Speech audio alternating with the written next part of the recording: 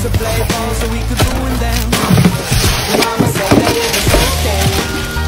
Mama said that it was quite alright. Our kind of people had a bed for the night, and it was okay.